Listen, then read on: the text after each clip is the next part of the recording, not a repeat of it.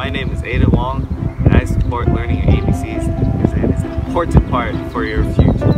Without ABCs, you will not be able to write